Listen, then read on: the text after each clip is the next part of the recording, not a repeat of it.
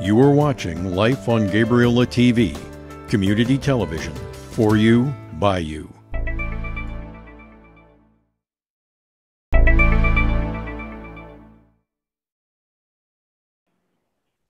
Uh, and I have Director Westbrook next. Thank you, Chair. Um, I think the this budget reflects the strategic plan of this board.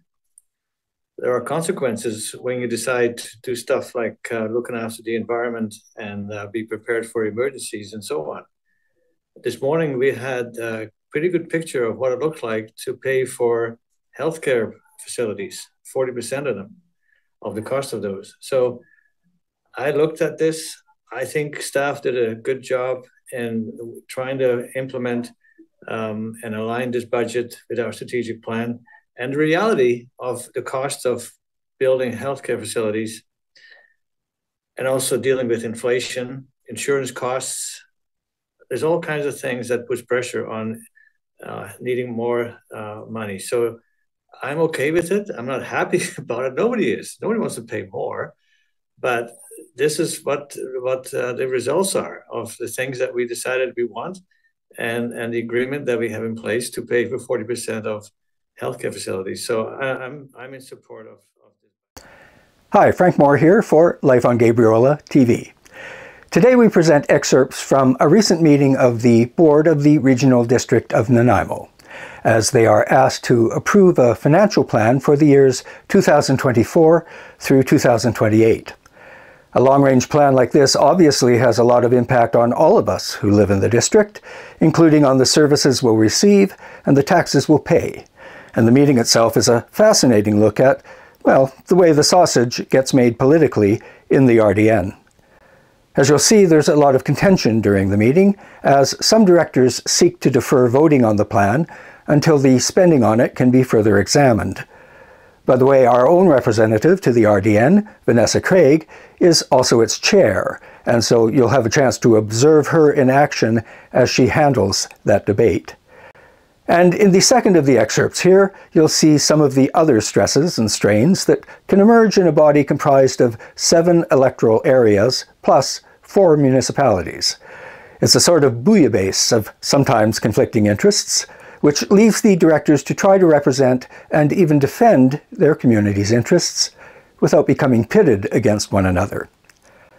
I'll be back later to talk more about that often noble effort, but for now, here's the meeting. That is carried. And uh, moving on to reports, 10.1, the recommended 2024 to 2028 financial plan bylaw. Um, thank you to Ms. Moore and uh, your team for working working long hours to provide the answers to various questions that you've been receiving and uh, and for the detailed update on what our current member summaries are looking like. Very appreciative. Um, so I will look to see if a director would care to make the first recommendation in the package that Regional District of Nanaimo Financial Plan 2024 to 2028 bylaw number 1902-2023 be introduced and read three times. Moved by Director Armstrong, second by Director Hemmens. Discussion.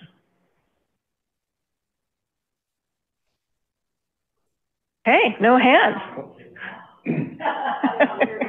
I should have called it quickly. Director Stanley.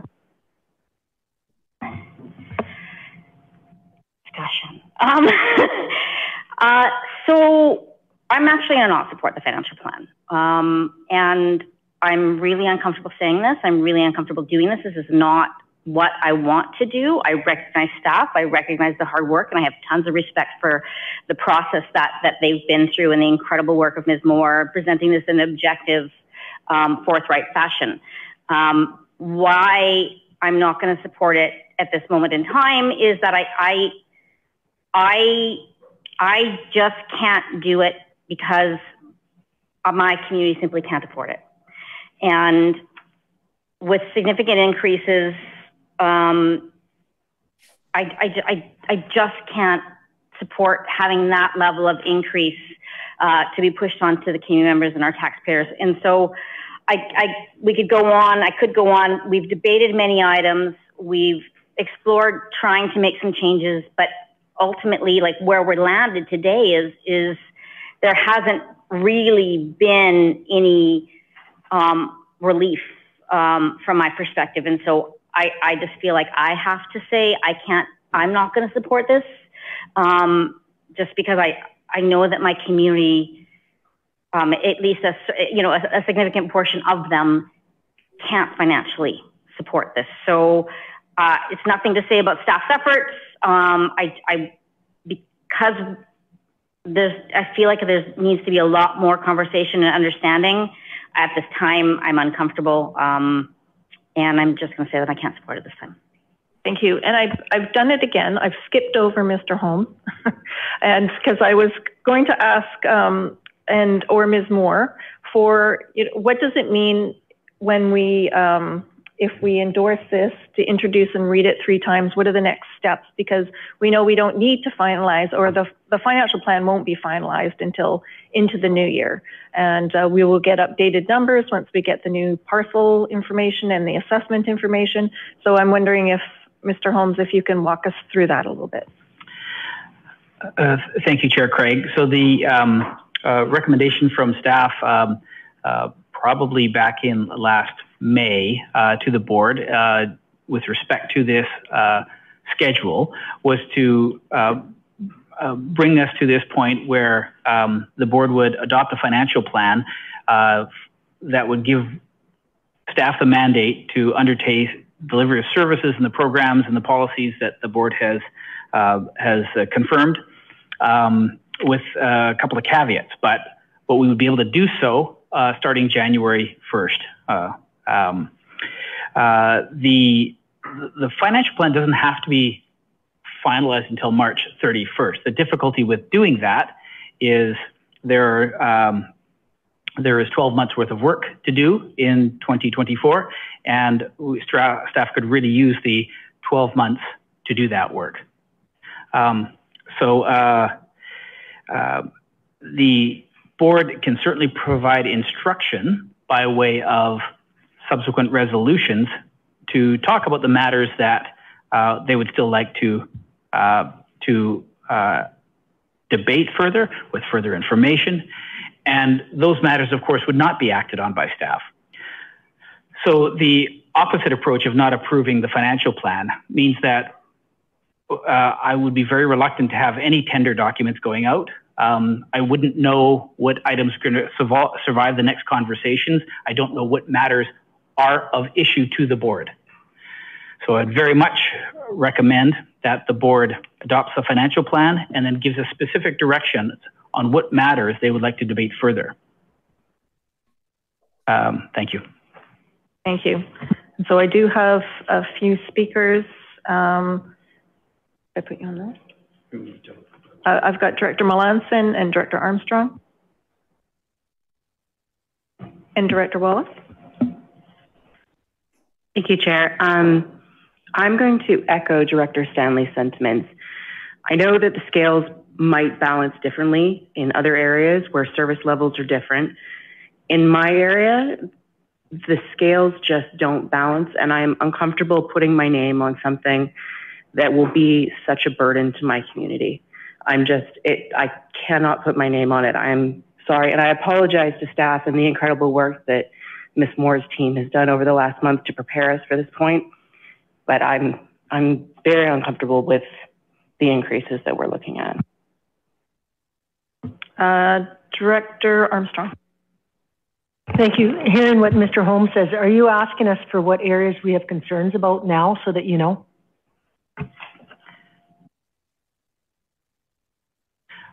Uh, yes, um, but I think going a little bit further than that, for example, um, we've been supporting a conversation um, uh, with uh, numerous directors over the past couple of months about resolutions that would come forward, asking for information about those resolutions.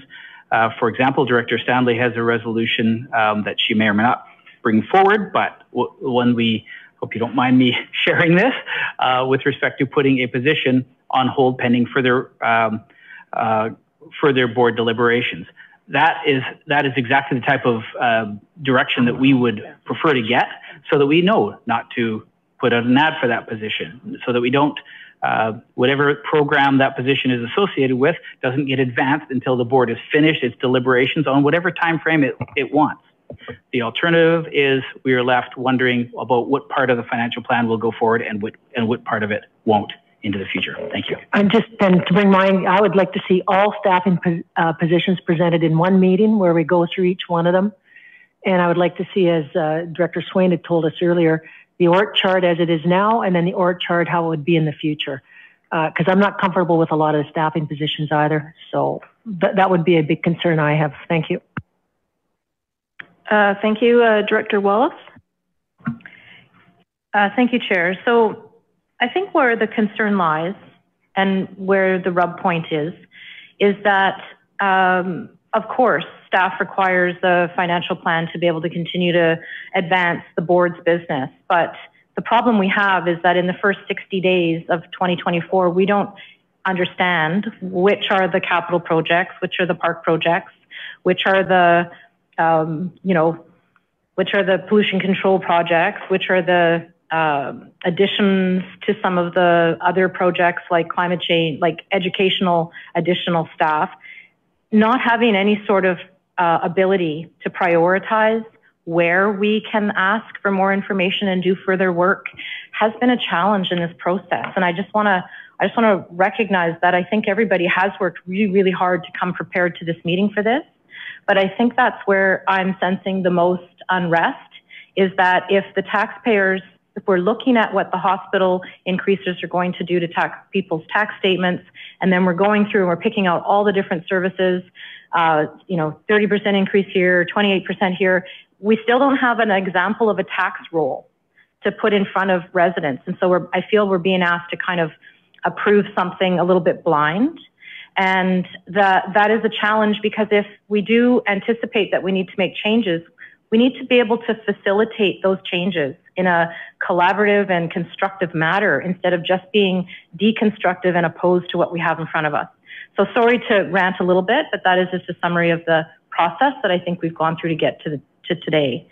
So I guess what I'm hearing, and I just want to confirm that this is correct, that staff is asking that we adopt the financial plan and then create a series of exceptions to provide direction as to what not to move forward on in the plan that's adopted. And if that's the case, why wouldn't we adopt a, a preliminary plan that would hold in abeyance increases over 2023, say, and then get back to the table in January and when more information comes forth to be able to make more educated decisions. What is the difference between a, uh, accepting a preliminary uh, status quo provisional budget for status quo uh, versus what we're being asked to do on the agenda today? Thank you. I, I don't know if, uh, well, I guess when when the suggestion was that we we don't know what we're we're agreeing to is that it's the updated financial information that Ms. Moore provided us. That is what we would be endorsing and moving forward with. And then from there, we can make, make changes. But I don't know, Mr. Holmes, do you have any thoughts on Director Wallace's question? Well, I'm frankly, I, I feel like a, at a, we're at a bit of a loss because I think we've had six or seven budget meetings. I think on November 7th, we went through every single staff recommendation uh, with the sheets uh, in, to the board. And so I don't know what additional information that we could put forward. It, it feels like we're being, um, we're talking about, um, I, I, I, don't know what question to answer, quite frankly. It feels like there's all these questions and we haven't heard them. So I, am not trying to be argumentative or combative, combative, Chair Craig. I just, um, uh, I feel like there's this um, uneasiness. And quite frankly, what we have in front of us is an ambitious financial plan that the board has put forward, and and and and it has yield, yielded some some numbers that um, uh, uh, maybe not everybody's comfortable with. And I think a good discussion is let's talk about those programs. But but but I feel like that that uh, we've been uh, prepared to support that discussion since November 7th, and um, and will remain prepared uh, to support any discussion the board wants, up to and including adoption. Um, so I, I, I frank, frankly, I, do, I just don't, I don't know what else to recommend. Thank you. So what I'm hearing from that um, answer is that uh, following up what, what we were, the example of Director Stanley is, is if, if we need more information or we want to put a pause or abeyance of certain, certain things, then we need to be kind of specific about what types of information that we do need. Um, just putting a pause on the financial plan with without specific direction, I think um, will make it challenging for staff to move forward. So I'm creating um, a speakers list. I have Director Salter, then Director Westbrook, then Director Geselbrecht. Well, thank you, and I do agree with holding um, this in abeyance and um, just going forward with what's absolutely required. I am not ready to support this at this moment, um, and maybe I won't be.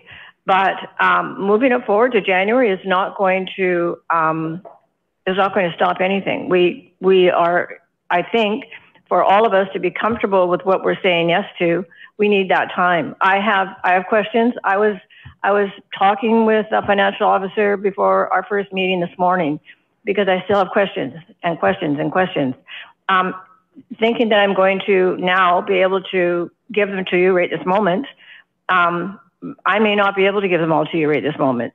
And and then there's a concern there because if I don't give you right now, then what happens in January? Did I did we pass that? I just um, I think sometimes there's you know when directors are um, feel the need uh, to take a little more time with such a such a large budget. Uh, there are significant increases. We're uncomfortable. We want to be able to have more time with it. I don't think that's too much to ask here. Uh, in fact, I think that's really um, what being responsible um, to our citizens is. So I'm quite happy to do that. Uh, in fact, I want to do that because I, I still have questions that um, I need answered. Um, and I would appreciate that the board understands that. Thank you. Uh, and I have Director Westbrook next. Thank you, Chair. Um, I think the this budget reflects the strategic plan of this board. There are consequences when you decide to do stuff like uh, looking after the environment and uh, be prepared for emergencies and so on. This morning we had a pretty good picture of what it looked like to pay for healthcare facilities, 40% of them, of the cost of those. So I looked at this. I think staff did a good job in trying to implement um, and align this budget with our strategic plan and the reality of the cost of building healthcare facilities and also dealing with inflation, insurance costs. There's all kinds of things that puts pressure on uh, needing more uh, money. So I'm okay with it. I'm not happy about it. Nobody is. Nobody wants to pay more, but this is what what uh, the results are of the things that we decided we want, and and the agreement that we have in place to pay for forty percent of healthcare facilities. So I, I'm I'm in support of of this budget thing, and I'm happy actually that we get this before the year end. It always used to bother me when we vote on a budget uh, halfway through the next year, like in May or something, and then change the course of or change direction of what the things you want to do. So I'm I'm quite happy with the work the staff has done, and I'm ready to support it. Thank you. Thank you, Director Westbrook, um, and for reminding us that this this budget that we're bringing forward is um, is based on direction that uh, the board has been giving staff over a period of time in our strategic plan. So it's uh, it is a culmination here. It is our budget. So going to other directors dis, uh, discussion. It is our decision about where the next steps are, but uh, it is it is our budget and it is a culmination of various direction that the board has been giving. Director Geselbrecht. Uh, thanks. Um, I just, you know, thinking about the process thus far, like I, I, think there has been a lot of information that's been presented to the board. There's been ample opportunity to debate and ask questions for individual directors to follow up with staff. Um, I think that, uh, you know, I, I, can definitely understand if the increase uh, for people's individual areas is, is too much to stomach and it's difficult to, to support the overall plan. Uh, that's fair. Um, but I think if there's more things that need to be debated again, um, you know, there, there's there's space uh, to do that, but ultimately it's a 19 person board, and it's it's very difficult to, you know. Uh, this process is going to move forward, and there's going to be things that people aren't aren't going to like. Um, so I, I, I do think that we have been given uh, substantial opportunity. Um, and if there's still things that people want to bring up and, and, and debate, then then let's do it. But um, I don't think that more process is particularly needed to like get to a to a, a better spot. So um, I, I'm prepared to to support this this plan um, and uh, and allow things to move on, and, and also open if people want to bring things back uh, that they feel need to be readdressed, um, and and we can have a vote on it. Thank you. Thank you, uh, Director Stanley.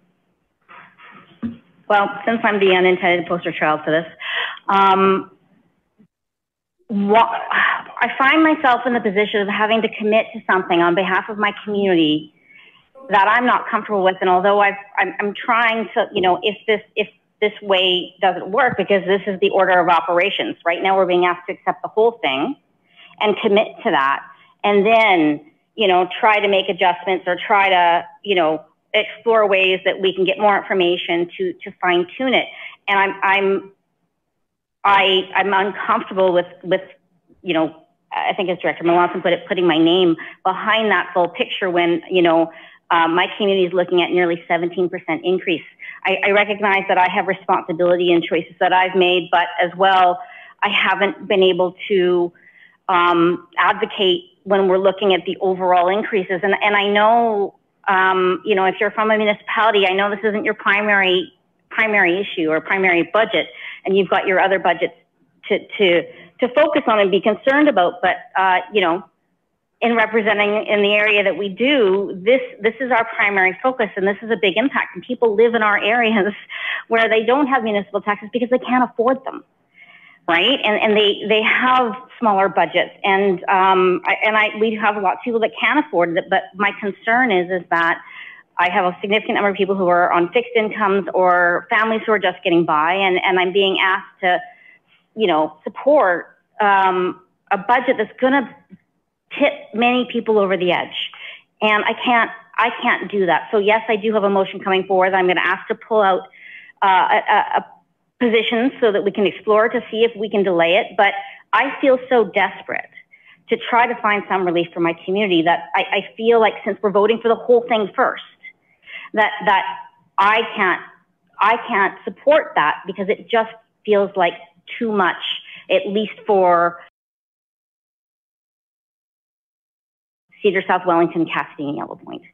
So I, I don't know how to. I, I, I, hear you in, the, in that we've had conversations, but I, I, I can't. Given that this is the order of operations that we're doing the whole before we're finding out what the outcome will be, I, I just can't, you know, move forward on that. So that's why I've got a motion coming up later. It's because I just I'm, I'm, looking at the process as is, um, and that the big the big pill is too hard to swallow. I'm hoping to change that, um, but I don't have that opportunity yet. Every other effort that we've tried to, to make changes um, has thus far been voted down. And so now I kind of feel like this is all I've got.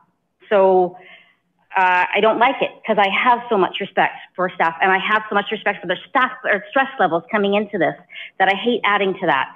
But I'm also very aware that I have community members who are just, they just it's just going to push them too much. So I'm sorry, um, but I just wanted to explain why I'm, I'm coming at it from this direction.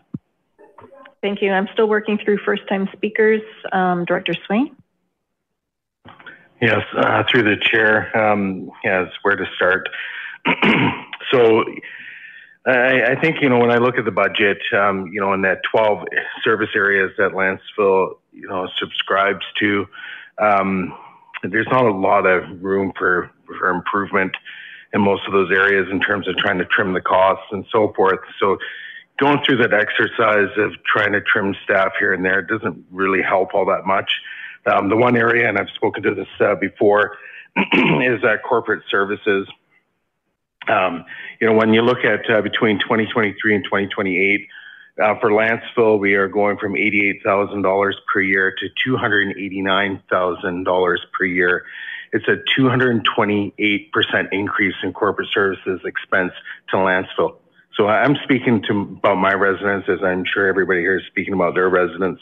But you know, for me to go back to my community and say, "Hey, let's be okay with that," I, I can't do it with a straight face because I simply don't understand um, what's contributing to that. When I go back and look at our strategic plan, and this is the one that's on the website, you know, one of the things that we have down is to be fiscally responsible. in my opinion, that flies in the face of that. And again, at this point, I, maybe I don't understand why we're seeing such a sharp rise in that one area. Um, I just I can't fathom, you know, doing that over the next five years. Um, in terms of process, I think we do need to adopt our financial plan. It's um, prudent, um, you know, for all the many reasons already stated. Uh, it's the way we, you know, have to move our business forward as, as a board. Um, we can always amend our plan. We, we have a few months to make changes and so forth, but I, we can do it. I think some of the changes in corporate services are, are actually required. I would, I'm, I'm in agreement uh, with uh, staff on that. Um, who am I though, right, to say that? But again, I'm in agreement. Um, I can, I can rationalize the expenses there. So, um, but what concerns me is what happens after this year and the next year and so forth, and takes us to that closer to that 228% increase. Um, I don't like doing things in silos, but um, you know we are when we look at our tax bills, that's what they are. It's like we have these silos of money that go to different areas. Uh, we just came out of our uh, Nanaimo Regional Hospital District uh, board meeting, and, uh, you know, we talked about increases there and, and I'm to, you know, digress a tiny bit here, but, you know, over from 2023 to 2028, we're looking at uh, for a community, um, you know, if you have a house in the price point of uh, 846,000, you're going from 2023 paying $298 per year to uh, 2028's number, which is 900 and $37 per year. That's a $640 difference in just one part of the tax bill in five years' time. We got to look at the entire tax bill, and, and when we're making these decisions, I mean, it is incredibly uncomfortable for me to do anything less. So I do recognize the RDN you know, tax uh, increase that we are looking at is just one of those silos. But when you combine them all and present them, you know, to your community in the entirety of your tax bill, it is it's serious. It's uh, we are putting people into the poorhouse as far as I'm concerned. If I'm feeling it, and and my family does just fine, I'm sure there's many others that are feeling it. Um, and I'm not living a high life. I'm not super loaded, but I'm comfortable. But um, you know, if I'm feeling it, I'm sure there's many others that are feeling it. And when you look at the median income out there, being in the neighborhood, I haven't checked, so I'm just guesstimate here is about seventy to eighty thousand for an average family man, it's it's a stressful time out there. So I, but again, I will support the moving the budget forward, uh, but I will be uh, definitely supporting, um, you know, other directors and making changes in the next couple of months. Um, and then my closing remark is if we want to do something about things, uh, I think we really need to start in January as we work forward uh, to developing this financial plan rather waiting, rather than waiting to have it actually presented to us and, you know, later in the year and go, here it is. I think as a board, we have a responsibility to, um, to put that, give staff that direction early on and say, you know what, for corporate services, we don't want to see any more than a 10% increase. Show us what you can do with that rather than waiting until the end of the year to find out it's a 42% increase. I'll leave it there. Thank you. Thank you. Uh, just an opportunity for any first time speakers. Uh, Director Ringwald.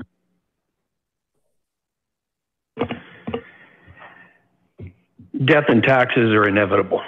We've all heard that at one point or another. What is not inevitable is escalation.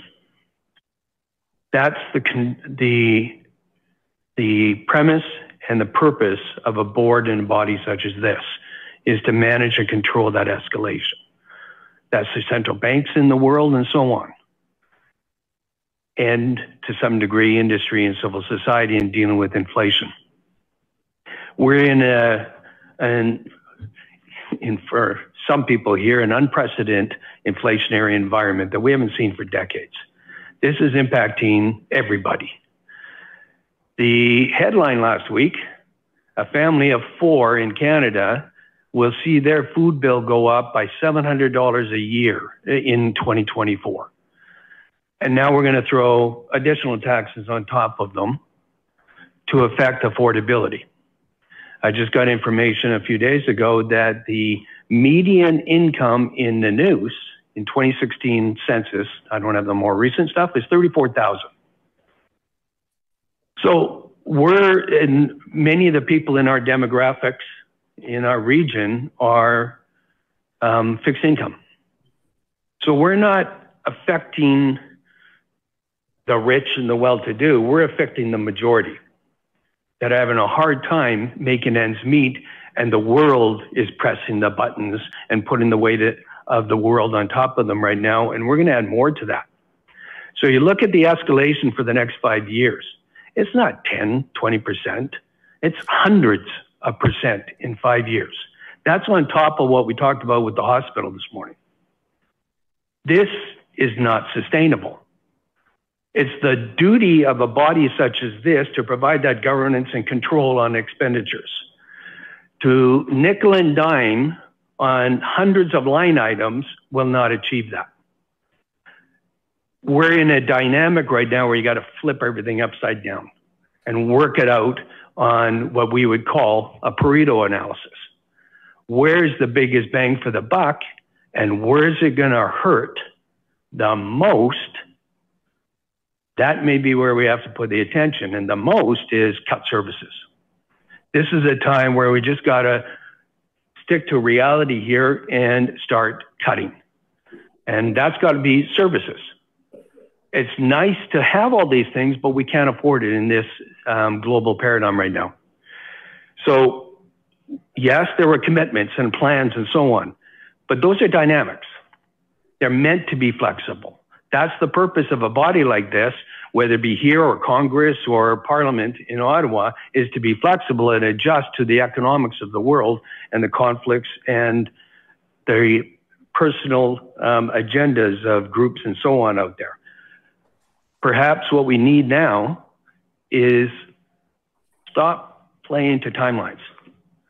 Buy ourselves a little bit more time. We have the power to make that decision right now. Give us some time to really absorb this. Perhaps go home and contemplate through the Christmas period what our hearts and souls really want to do to serve our constituents.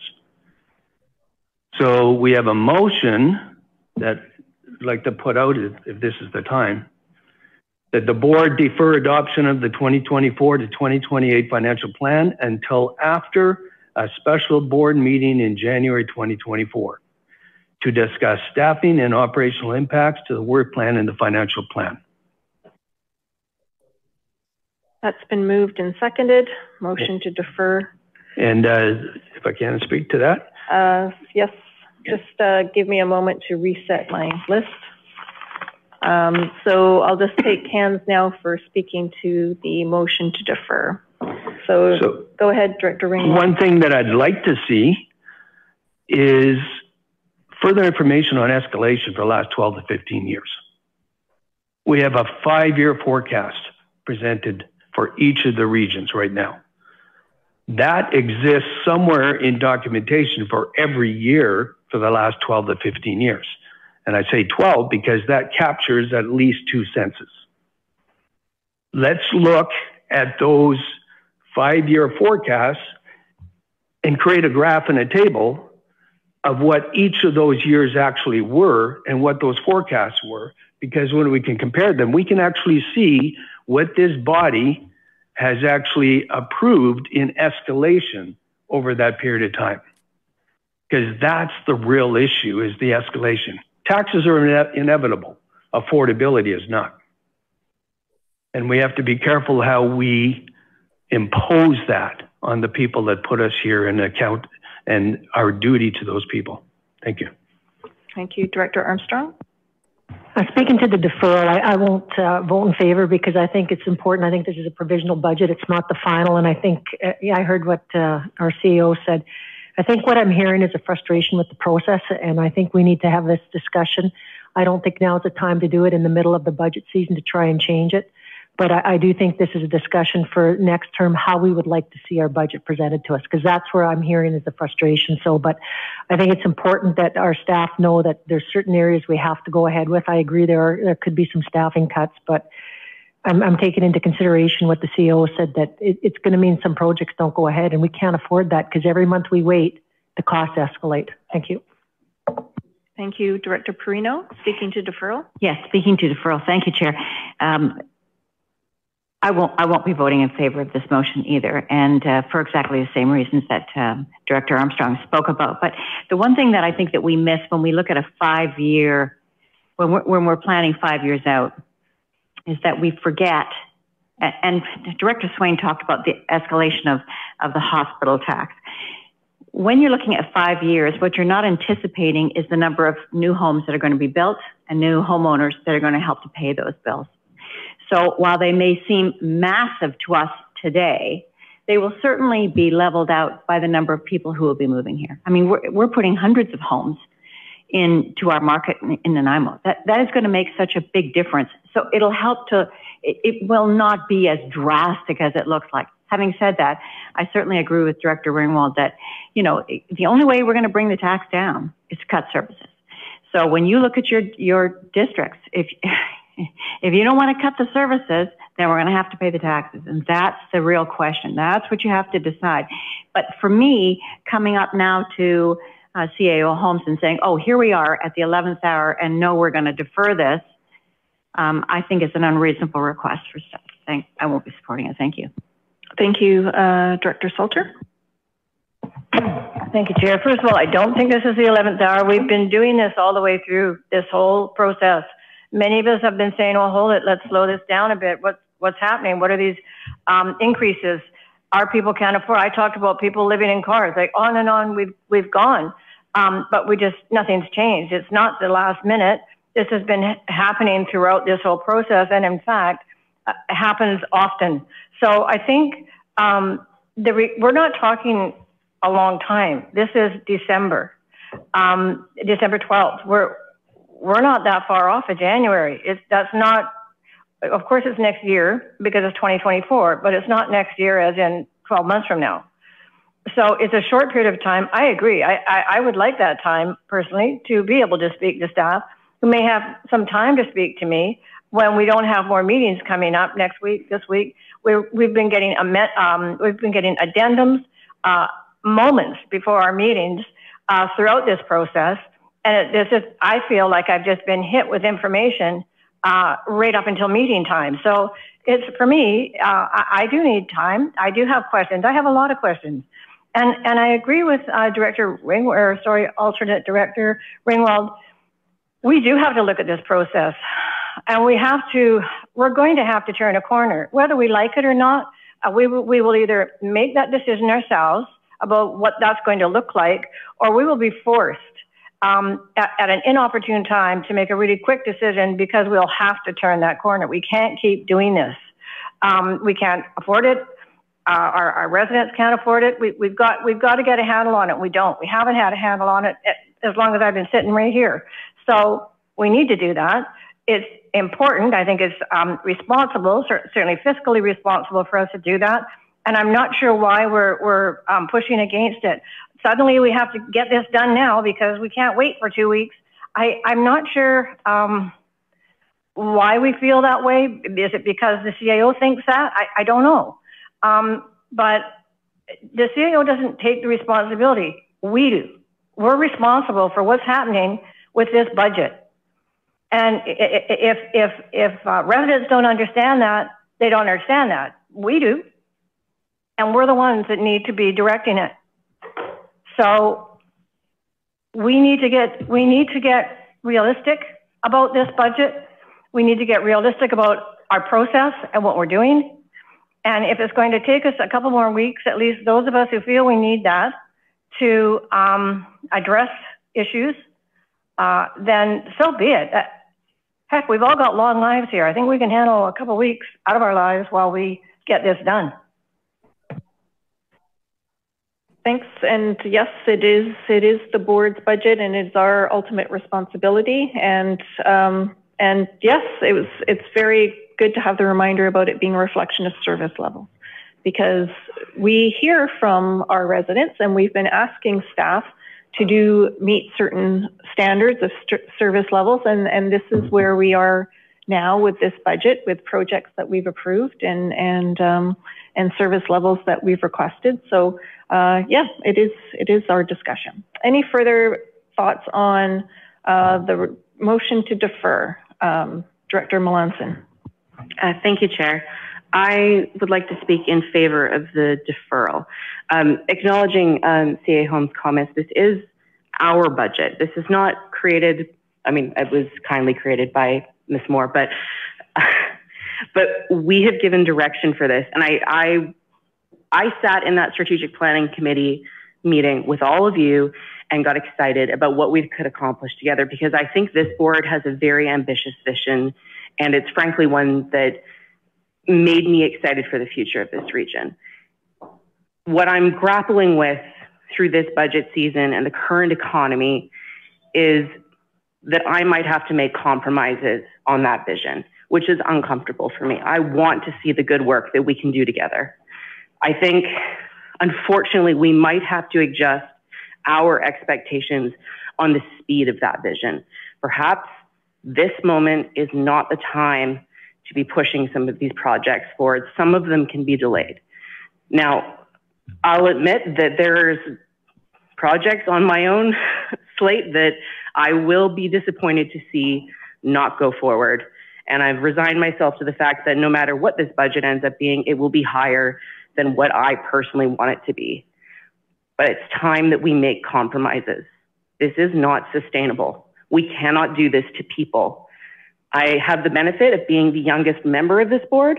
And I'll tell you, people my age cannot live here anymore. We're being forced out of communities we grew up in. Director Krog has said many times that he has a vision for this region to be somewhere that you can grow up, raise a family, and die in peace for your whole life. And that is becoming unattainable. We have a duty to look at what our vision is and compare it to the reality of what people can afford. And I think it's going to be uncomfortable for everyone at the table but I, I ask that we do that. Thank you. Thank you. And speaking to the deferral, Director O'Brien. Thank you, Chair. Um, I will be speaking in favor of this deferral at this time, recognizing that through this whole process, I just did not hear no enough times. Uh, Director Melanson just mentioned our strategic plan. It's on our, in front of us right now on our placemat and I, uh, being very conscious of the fact that we were voting with our conscience on many of these things. It was because it was the right thing to do, whether it's climate change, you know, advocacy and so forth. But every one of them came with a price tag. And we didn't recognize that there is a big price tag there, whether it's increased staff to implement all the incredible initiatives that we're doing, or whether it came with any capital costs as well. We should have recognized that it may have been the right thing to do, but we can't afford to do it. And it, because it's really, it's placed down upon us. These strategies that we do is, would uh, definitely make a difference. We're doing our bit, but recognizing, of course, we're doing our bit with taxation dollars.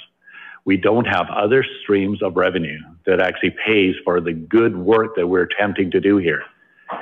And by taking from the taxpayers um, uh, to accomplish this goal, it's just not feasible it's not doable and it's unconscionable, unconscionable to consider that we are going to actually affect somebody's family well-being, uh, life in our district uh, by our good deeds that we are attempting to do. So I will definitely support this deferral. Thank you. Thank you. Um, I don't see any other hands up. So I'd like to, to, to move forward with, with the vote unless there's any first time speakers that would like to add new information um, to the discussion and the consideration of other directors.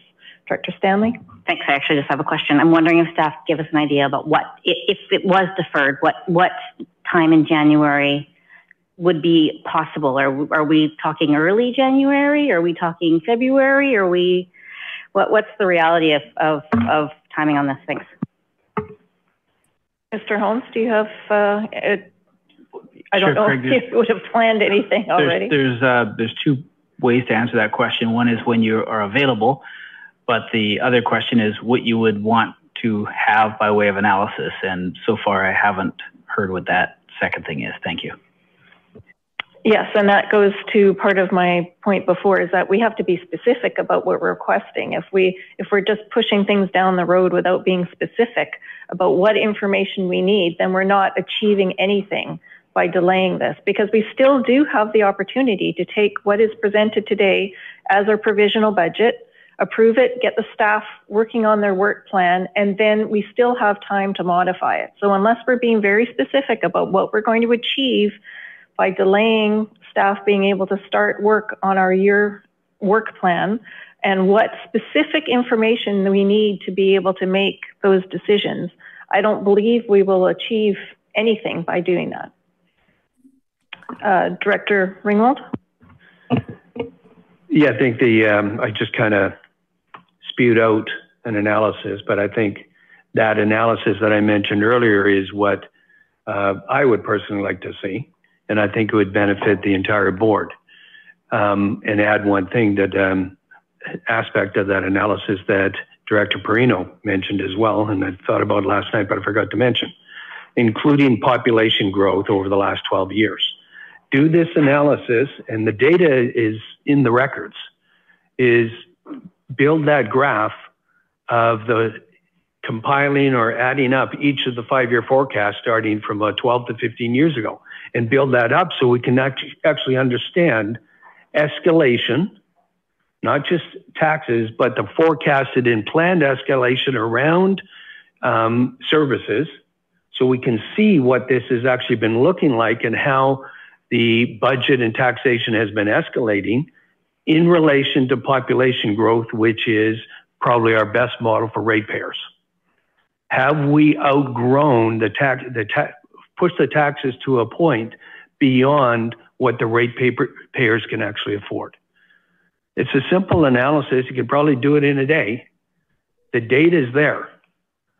But I think we all need to see that. Are we pushing this expectation of ratepayer affordability and growth of population beyond its limits?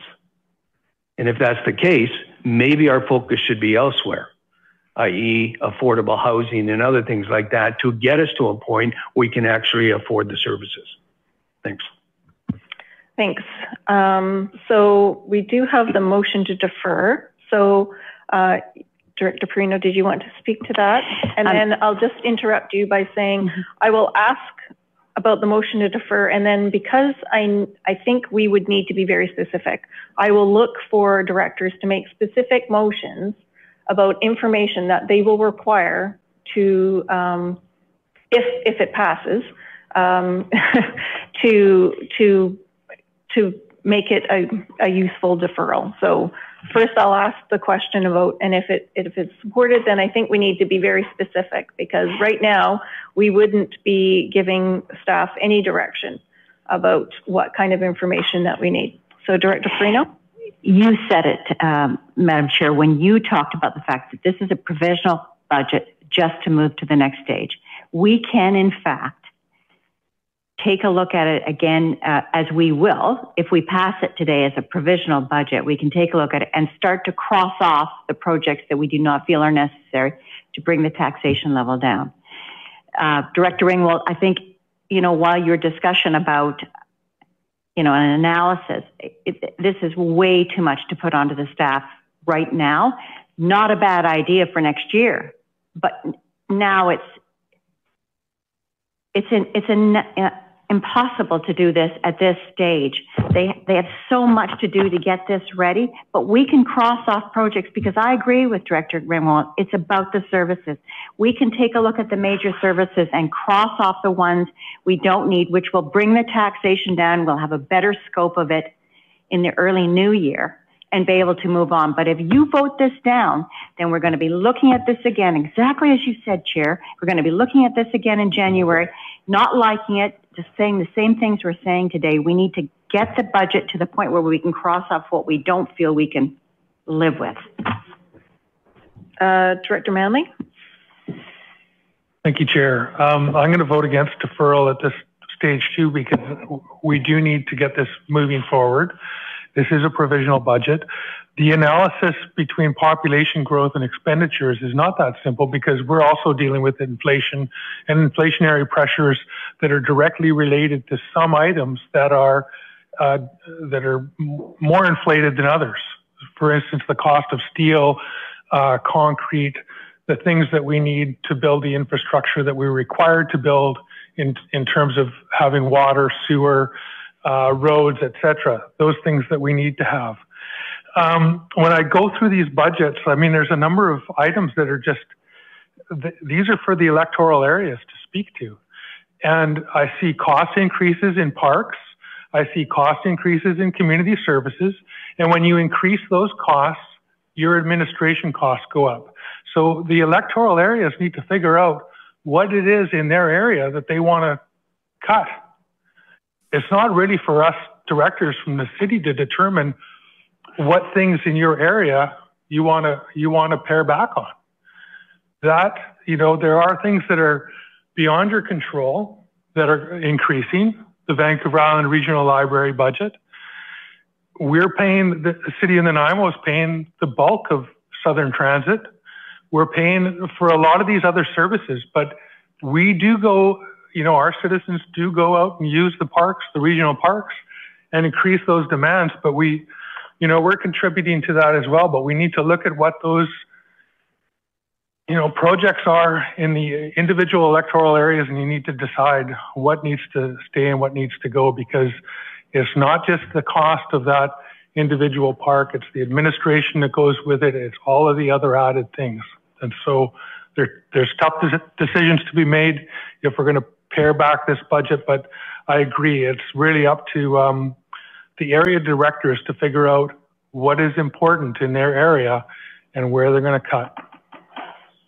Thank you. And uh, I had Director Geselbrecht, if you have something brief and new to add, and then I'm going to call a question. Uh, I, I just really think Director Manly's point needs to be really seriously taken. Like I, I'm quickly flipping through the electoral district area budgets. It's like your community park, your your district planning, uh, uh, that are like the huge cost drivers of your area. These are projects well under your control. That if you want to bring forward and like reduce, you know, your tax increase bring these things forward. We've had two months to go about and do this. And I think a lot of the discussion is around nickeling and diming sort of shared regional level things that really are very small cost drivers in your in, in the budget. And so I just it it does irk me a little bit holding up this like larger process for um, discussion on areas that are, are a much smaller impact on the on on the electoral area budget where um, you know, these are things that are well under your control to, to, to bring. And so I, my suggestion is to approve this budget. And then if there's stuff that air, the things that you'd like to cut,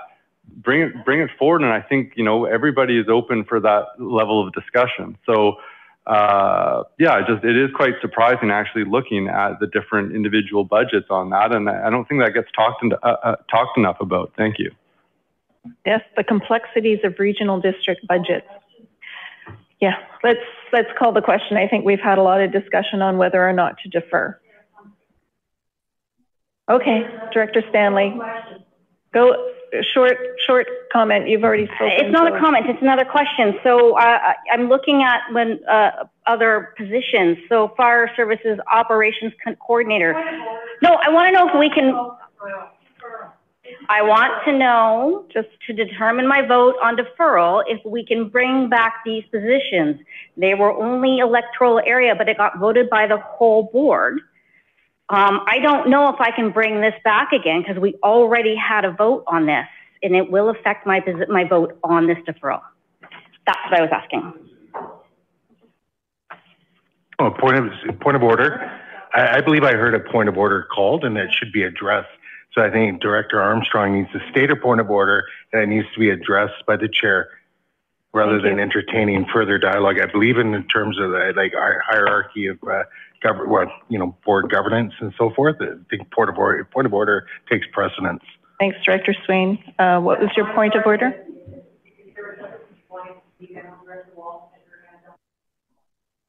Thank you. We need to stick to the deferral, not about all this other stuff. Whether we defer, we don't. Right. We're way off base. Thank you. Thank you. Um, Ms. Hill, did you have any comments on, on the question?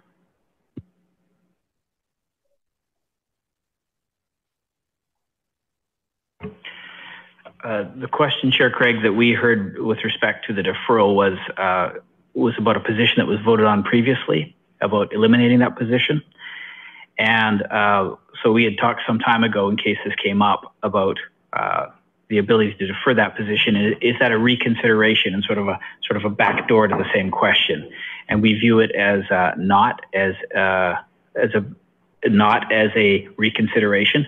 We, we view it as a different motion because it would still be in the financial plan. Then the position would be, the instruction would be to defer the position such that staff would not act on it pending further discussion by the board for new information. So the answer to uh, Director Stanley's question, as we understand it, is that a motion to defer one or more positions, even if it's been voted on previously as a removal, uh, that uh, deferral motion would not be out of order and um, and uh, would be um, would be uh, instruction that would be new and different instruction that would have been previously been voted on. Thank you. Thank you very much. Okay, so on the motion to defer, all those in favor?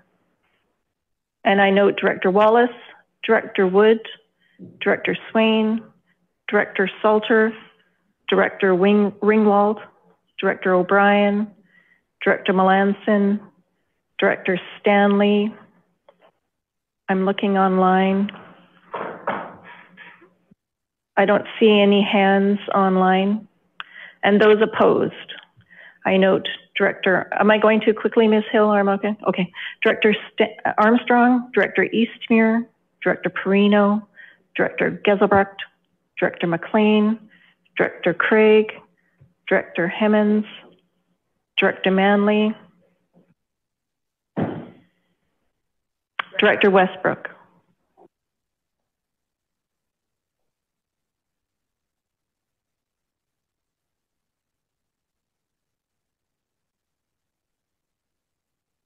The motion's defeated, um, nine to eight.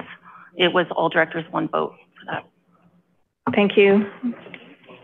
The motion was defeated uh, by a vote of nine to eight. So because the motion to defer was defeated, the original motion that the Regional District and Nanaimo Financial Plan 2024 to 2028 bylaw number 1902-2023 be introduced and read three times is on the floor now. And I think we've had a lot of discussion, so I'm just going to go ahead and call the, oh, Director McLean, you haven't had a chance to speak or you haven't chosen to speak. So if you'd like to speak to this. Thank you, Chair. Uh, I would just like to say I hear there's a lot of discomfort with the current plan. And if anyone wants to bring motions to examine anything to remove from it uh, going forward, I would definitely support that, support having more information and more discussion. Uh, but at the moment, I will be supporting the provisional plan. Thank you. Thank you. Uh, and so all those in favor? I'll go around the horseshoe. I'll wait for Ms. Hill to get ready.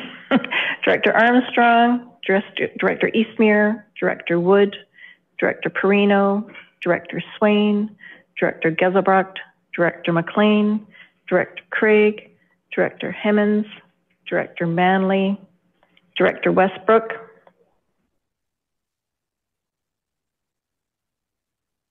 I think that's complete. And those opposed, Director Wallace, Director Salter, Director Ringwald, Director O'Brien, Director Melanson, Director Stanley.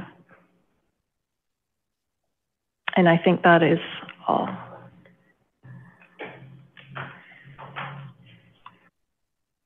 And this is a weighted vote, so we'll just wait for the calculation. The vote carries. Um, weighted vote of 43 to 20. Thank you. The vote was carried. So moving on to the next recommendation in the package that the Regional District of Nanaimo Financial Plan 2024 to 2028 bylaw number 1902-2023 be adopted. Is there a director that would like to make that motion? Director McLean, seconded by Director Perrino. Discussion on this. I think we've pretty much covered it all. So I'll just call the question. All those in favor? And I'll go around the horseshoe. Director Armstrong, Director Eastmure, Director Wood, Director Perrino, Director Swain, Director Geselbrecht, Director McLean, Director Craig, Director Hemmens, Director O'Brien, Director Manly, and Director Westbrook. And those opposed? Director Wallace, Director Salter, Director Ringwald. Um, I don't have a vote for Director Melanson or Stanley. Opposed? You can't abstain?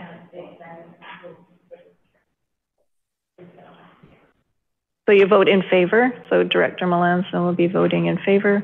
Director Stanley is opposed. And I think that is everybody. You are watching Life on Gabriola TV, community television for you, by you. It's important to note that while the financial plan for 2024 through 2028 was adopted, it's a provisional plan, which, as you heard, is still subject to changes. In this final excerpt, Director Sean Woods, representing the City of Parksville, seeks to begin discussion of one possible change, which would be to delay a major bridge project planned for Electoral Area A. That's the area of Cedar, adjacent to our own, and its representative has a vigorous response to the idea of delaying the project, which in turn leads to an enlightening discussion of the complexities of running the RDN, where, as one director puts it, only some areas get the benefit of the taxation in some years, and others have to wait their turn. She describes it as a layer cake of taxation. Director Wood, did you have Thank you, Chair. Just a question. Um, to me, a lot of this relates to a specific service or a specific project that we can talk about. I think that's what everyone is kind of should be doing, and probably staff is dying for us to do that. Um, and I don't know what part of the agenda we should be bringing these forward, but uh, I believe I was on the prevailing vote of the pedestrian bridge, $5.2 million truss bridge. Um, whenever that would be in order for um, for for the agenda today, Chair, I would love to bring that forward for discussion as I was on the prevailing vote. Thank you. So you're wanting a reconsideration? If that's what we're if that's what we're talking about at budget time, then I suppose it would be a reconsideration. I don't actually know if, according to our board bylaws, that's in order for today. Um, I'll first let I'll, Ms. Hill. I'll um, tally the vote because the Yes, vote was taken. sorry. That's all right. It, it carried. Okay, um, With thank you. 47 to 15. And then, um, and please just, uh, while I was tallying up, can you repeat the question? So there was um, a recent decision at a board to support a bridge project. Um, Director Wood voted with the prevailing side and is wondering if he could bring that decision back for reconsideration.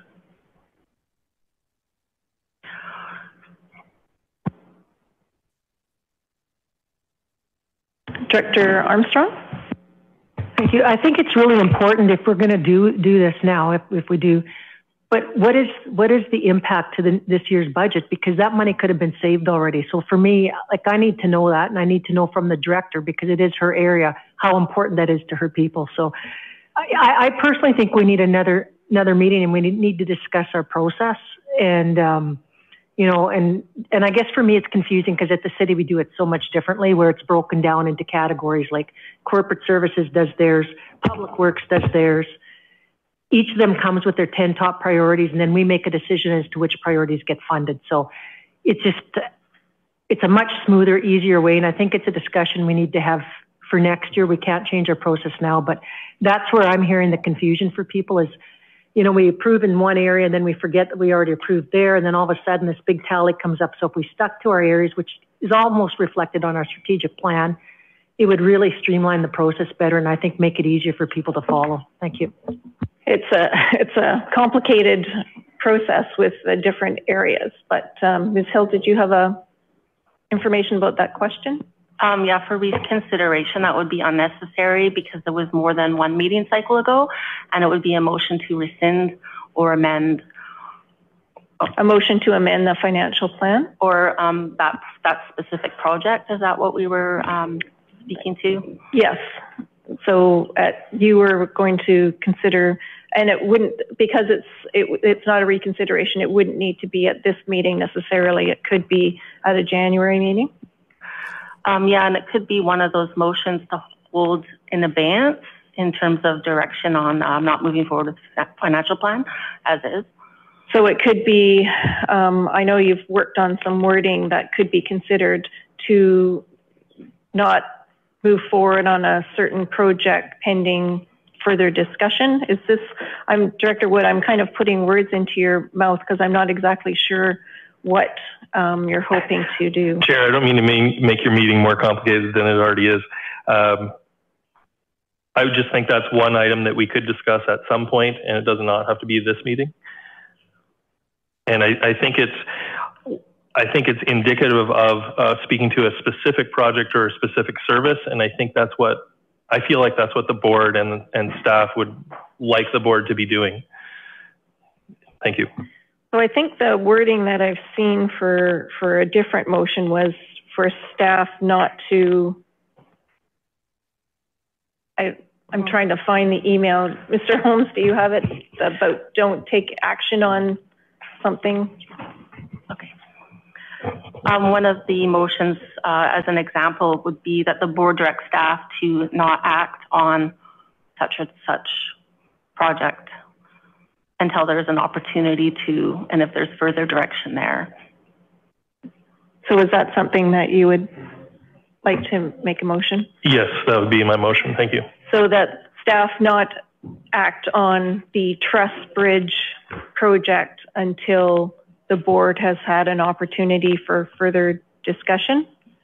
Specifically, if it if it uh, impacts this next year's budget, which I'm not sure either. It does. There's Thank about 200,000 for planning in Sure. the 2024 budget, I believe. So it may be a small amount compared to what the total project is, but all those small amounts do add up. Thank you. Okay, so you're making that motion. Ms. Hill, is that motion in order and understandable? Yes, it is. Okay. Um, is there a seconder? Seconded by Director Wallace. Any discussion on this? And again, it's not saying that we're canceling the project or changing our mind. It's something that we would want to consider more. Um, Director Stanley? Yeah, thank you. Um, oh, this is a surprise. I guess, like I said, I was on the firing line before, so um, this is uh, the the the only part of the the budget that the bridge is being evaluated is further study about these like the feasibility now that we've chosen the type. We're talking about two hundred and eleven thousand dollars. So although there's been lots of you know numbers tossed around, you know the five point two million which was used here, and, and honestly, like I've had so many comments about this bridge recently. Um, we have so little regional investment in the southern area of the RDN and so little regional investment in Area A. And this project was started 20 years ago, and we've been waiting 20 years for our project to finally happen. Director Stanley, um, at this point, we're not arguing for or against the project. It's whether or not we're going to put this project on hold until we have uh, further discussion. Okay, it, my point stands. We've been waiting 20 years, so to put it on hold, it's it's just another like stall, and it it has been increasing in value because we haven't been able to move forward in it. And I, I guess I'll end it there.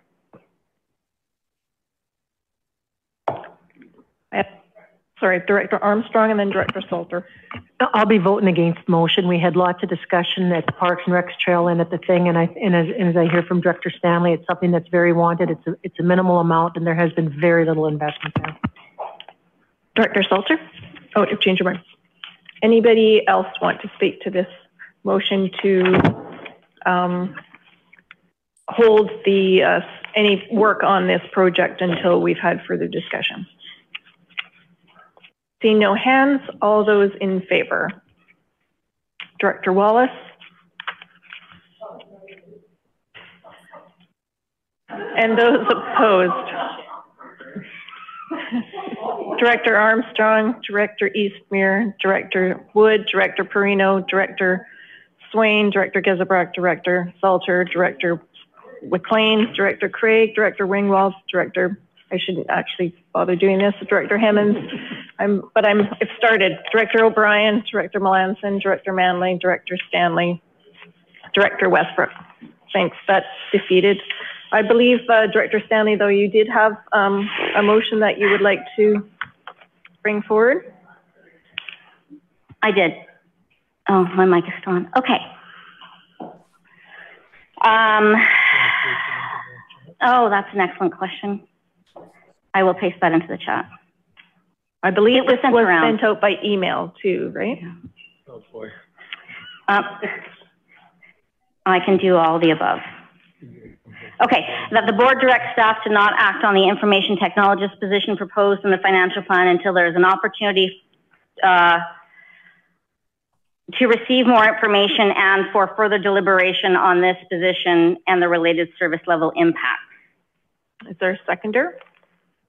Director McLean? Uh, Director Stanley, would you like to speak to your motion? Um, well, I, it, I've spoken a lot with regards to the overall financial consideration, which is one of the primary motivations is to try to look at something within this budget where we have a lever to pull for wiggle room. Why I've chosen this one in particular is because from what I understand, um, there's been significant increases in IT lately um, to address obviously a need. Um, but I'm, I'm hoping that because there has been um, an increase in this department uh, in the you know somewhat recent past, um, that it is one of those uh, places that if we didn't move forward at this time, that it wouldn't have um, a significant impact. Obviously, um, that's a question that I have, and this motion allows for an opportunity to ask that question and to receive information from staff to find out if it is an accurate assumption. Thank you. Any further discussion on this motion? I see no hands, so all those in favor? And any opposed? I note Director Eastmure, direct, no, not Director Eastmure, sorry, Director Wallace, Director Perrino as opposed.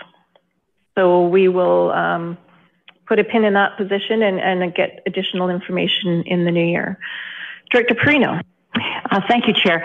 Uh, question through you, if possible, to, to I really want to make uh, Mr. Holmes director. I'm wondering if there is a better way of doing this where staff come back with what they feel um, would impact the, the level of services and what they feel ought to be cut at this point. Now that they've listened to the last two months of this, I'm, I'm just wondering if we're we're deciding uh, the struggle and the reason why I voted against this last motion is because I'm not sure that we're doing this the right way. And I'm just wanting to turn it back to staff to say the taxes are too high. Can you tell us what you believe we can do without to lower the taxes that you can live with? Because when we're making some of these decisions, I'm just not so sure that they can do without that position. And, and so I'm wanting, I'm wanting them to tell us after everything we've been through the last two months, tell us what we can cut at this stage that would have an impact and get us through to lower the tax and still give them what they need. Uh, well, I'll let Mr. Holmes handle this, but we've had variations of I this know, I discussion know. over time, which is, you know, this budget is is basically how to implement board direction um, that we've been providing over the last year, over the last two years. And, you know, we've done these strategic plans. We've created a Parks and Trails master plan. We've reviewed bylaw enforcement. Um, we're, we're creating um, additional emergency management. And also the province is, is putting obligations on us that we, new obligations that we have to address. And so um, asking staff to say what part of our direction do you not want to implement, I think is, um, is tricky, but uh, you'll probably be more eloquent, Mr. Holmes. Um, I doubt that, Chair Craig. What I would add to that, though, is um, inherent in the financial plan is a series of programs or services that are important to the board, and of course, the board members vote on these things. And so, the priority of one service or another would be a different priority for each of you. And that is, of course, why the vote happens and that's why the majority carries these things. There's an additional complexity in a regional district service where in our 11 participating areas, four municipalities and seven electoral areas, each of these services priority, priorities affect a different bundle or combination of these areas. Sometimes, um, you know, if you think about the uh, uh, Greater Nanaimo Pollution Control Center, the vast majority of that service is just the city of Nanaimo. A little bit of Lantzville, SFN, but primarily the city of Nanaimo. And um, so, um, and we could go through the, all of the services and it would be a similar, you know, combination of the various jurisdictions. So for us to try to step our, it would, what I feel is very much stepping into your shoes in trying to talk about which services are more important than another, um, and inherently, therefore, which areas should have services versus vis-a-vis another. I think that com- uh, that conversation very much uh, belongs at the table with us providing information to support that conversation. Um, what I would suggest, um, uh, you know, the, the comments came earlier today. The the big budget changes reflect really the big service changes or a contraction of services. And um, I think the board members, if they want to make big changes, need to contemplate those types of things. Um, the, the, the motion that just passed here, I think, is an excellent motion in that the board will be contemplating some amount of budget cut with the impact that budget cut would have. And I think that's exactly what the board needs to do. The impact that on the financial plan that that one position will have will be um, uh, not really noticeable at the household level. But of course, as directors regularly point out, it's this amalgamation of things that aren't very noticeable at the household level that accumulate and aggregate into something that is very noticeable at the household level. Again, that debate belongs in your hands. Thank you. Did that answer your question, Director Perrino? I'm just trying to find, thank you, Chair. I'm just trying to find an easier way to, because, you know, just trying to trying to cut things, it's just hard to know what needs to be kept and what could be cut because uh, Director Wood just tried to make a motion, you know, and and and it, it, it just doesn't make sense. So it's just hard to know what we're voting for and what we're not. Uh, what's the right move and what to vote for and what what isn't. I, I was just trying to make it a little easier. Thank you. No, thank you. That's something we're all dealing with. Director Wallace and then Director Salter and then Director Milan. Uh, thank you, Chair. So when we received the report for the Growing Communities funding allocation, there was a really great framework that was utilized to prioritize those projects. And in addition to that, we have a community work funds uh, list of projects that are, uh, I guess, governed a little differently or not evaluated in the same way. I think that this could be an effective tool for the board to use to go through a series of projects that have been added to the financial plan in the last two years that we would have the metrics of the framework to be able to make some better decisions on areas of the financial plan that could be uh, further evaluated or further further discussed in January. So my question through the chair to Mr. Holmes is we working from those two lists, but knowing we have the criteria that was utilized for the Growing Communities Fund, is that information that could be provided to the board of all of the projects, heeding Director Geselbracht's comment that there's a number of, I think maybe um, Director Geselbrock and Director Manly said, what about all these park projects? Where's the regional priority in, in this? Is there opportunity for us to combine the community work projects, growing community funds, projects, put them all through the same evaluation framework and come up with a list of projects for the, for the next five-year plan? Mr. Holmes? Um, Chair Craig, I think the short answer is yes.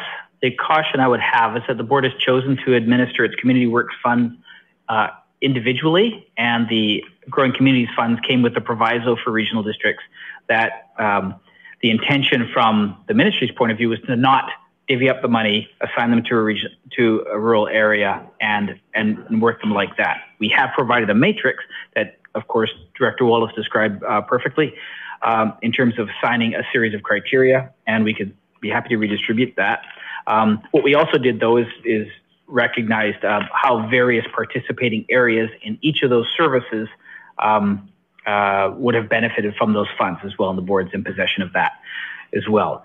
So taking that criteria and putting it into other projects, um, uh, you know, we, we cer certainly could do that, but to the extent that a project is a community parks project, for example, and it only affects uh, one tax, one one um, representative at this table, um, I think the board would want to want to decide whether or not um, that's where it wants to uh, intervene with that particular participant's uh, uh, uh project. Uh, that's not to say some of the bigger projects that involve multiple um, multiple jurisdictions is is that a, an appropriate framework to apply to it. I, all I can say is that the framework's available if the board would like us to bring that forward uh, as an experimental uh, process on one project or another, we would be happy to support that conversation.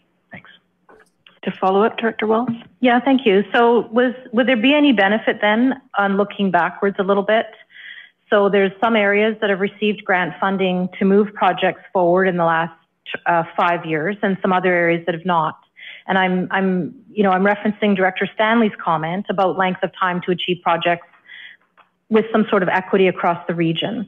And so I'm not suggesting that every project go through this matrix because I don't think that every project hits a threshold of impact to other areas. I think that we would want to look at the regional services because I think the reality is that what is a priority in Area G is, is not a priority for the city of Nanaimo and that you know Area G has 40 services, 40 different services that are uh, hived up, I guess, into local service areas and paying into the regional services. It's the most. It's very complex, and it is a layer cake of taxation. It's very difficult to. It's impossible actually to opt out of things that may not be a priority for G. And, and so I think that governance and services question of the region is a good one for the future, although I don't think it's in this budget. So I'm wondering if there would be benefit to adding an additional item to the matrix about which areas have moved projects forward in the last five years and which haven't, so that we can also try to address, address the equity issue of the region. And I'll use an example of emergency management. So we have new requirements from the province. We have, uh, you know, increasing challenges with climate change and fire service changes with halls changing from society to RDN. We have a definite need to grow the support services for that. But there's an example where some areas in the previous regime and the lesser amount of funding and resources achieved things. They achieved evacuation planning. They achieved reception areas. They achieved some things like that where other areas didn't. And so to Director Geselbracht's comment, it isn't a matter of just pushing individual projects forward and then deciding to take them off. It is a shared service. That means only some areas get the benefit of the taxation in some years and others have to wait their turn. And so I think that that's an important, that's an important item that I hope that the, the directors from Nanaimo understand is that Area G paid into that emergency management that delivered a service in an area like B or E that is didn't actually go back to Area G residents. And so now they need an evacuation plan. Area G has to come up with additional taxation or grant funding to achieve the same thing. And so I think that uh, that is the rub point that, that I have with having trying to represent an area with 40 services whose priorities are aging out infrastructure, drinking water supply, aquifers have saltwater intrusion, um, you name it. Those are those are the issues that I need to try to solve through the service delivery at the regional district. And I'll I'll just say the bridge because I you know the area G will be paying into a bridge, and we'll also be paying into other regional park services in the north. But the reality is, it's drinking water or a bridge. It's not like must have, must have. It's must have, and how can we figure out how to achieve that without creating such an unsustainable level of taxation onto the multiple services that are that are delivered because each and every one of them has an admin component and it's that's the escalation that's happening in G. So I, I hope that provides a little bit of insight, but I think also we need a framework to be able to make these decisions. And I think an important piece is, is how do we uh, how do we achieve some equity on these regional services so we stop having two people from Parksville vote to talk about a bridge and then it becomes north versus south. That's not productive. So anyways, if it's possible, I don't know what the motion sounds like. That's it for now. By the way, we'll be bringing you a year-end interview with Director Vanessa Craig soon on Life on Gabriola TV. Meantime, thanks for watching.